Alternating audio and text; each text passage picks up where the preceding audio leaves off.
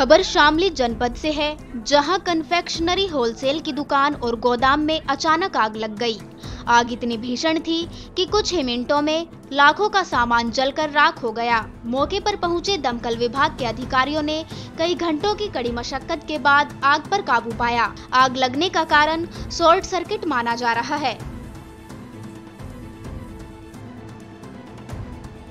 दरअसल पूरा मामला सदर कोतवाली क्षेत्र के कबाड़ी बाज़ार का है, जहाँ जैन मोहल्ला निवासी बबलू पुत्र रामलाल की कन्फेक्शनरी की होलसेल की दुकान है और दुकान के ऊपर गोदाम है, जिसमें खंबे के विद्युत तारों की चिंगारी से आग लग गई। आग की सूचना मिलते ही आसपास के लोगों का जमावड़ा लग गया और आनंद फानन में इसकी सूचना स्थानीय पुलिस और दमकल विभाग को दी गई। सूचना मिलने के बाद पुलिस और दमकल विभाग की गाड़ी मौके पर पहुँची और आग बुझाने में जुट गई।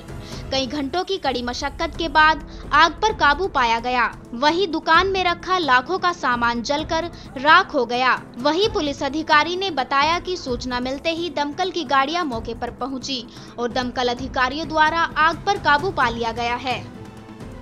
इसमें जैसे ही फायर स्टेशन में सूचना मिली कि किसी कन्फेक्शनरी की दुकान में आग है फवारा चौक के आसपास तुरंत क्योंकि प्रोटोकॉल ऐसा पहले छोटी गाड़ी निकाली जाती है वाटर मिस्ट व्हीकल है। जब वाटर मिस्ट व्हीकल यहाँ पे आया तो उन्होंने बताया कि भाई और भी गाड़ी की आवश्यकता है तो एक बड़ी गाड़ी वहाँ से शामली से निकाल दी तो क्योंकि बड़ी गाड़ी जो उसमें काफ़ी पानी पर्याप्त है कोई ऐसी दिक्कत नहीं है स्थिति पूरी सामान्य है लेकिन फिर भी स्टैंड बाय मोड के लिए एक गाड़ी कैराना से और बुला ली गई है। बाकी अभी स्थिति नियंत्रण में दिख रही है कोई ऐसा सर मान लो जो है पानी नहीं है गाड़ियाँ नहीं है यहाँ पे। नहीं नहीं पानी है गाड़ी तो है गाड़ी है लेकिन गाड़ी की एक कांस्टेंट रहता है कैपेसिटी 5000 लीटर्स है तो लिमिटेड कैपेसिटी होती है ना पानी की। सर नुकसान कितना नुकसान कितना बता नुकसान का तो भी कुछ कह नहीं सकते हो तो जाँच का विषय बाद में पता लगेगा। एक बार पूरा बुझ जाए उसके बाद पता लग पाएगा कि क्या नुकसान है क्या। सर रेस्क्यू के लिए कितने लोग लगे?